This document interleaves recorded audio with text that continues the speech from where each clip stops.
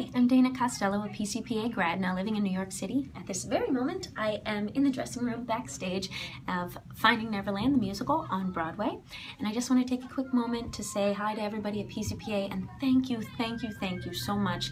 The training, the professionalism, the onstage experience, everything that you gave me at PCPA, I use every day in my life and career as a working actress in New York, and I am truly grateful for my time there. You guys are doing a great job. Keep up the good work, and hopefully I get a chance to come and visit you soon. Bye.